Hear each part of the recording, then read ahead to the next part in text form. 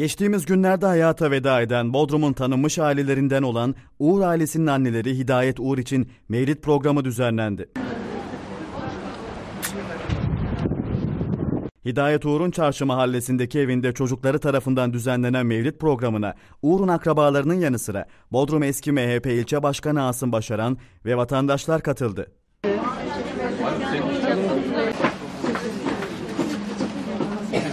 ...84 yaşında kanser hastalığı nedeniyle vefat eden Hidayet Uğur için düzenlenen programda... ...Tepecik Camii İmamı Yüksel Kılınç Arslan tarafından Kur'an-ı Kerim okundu.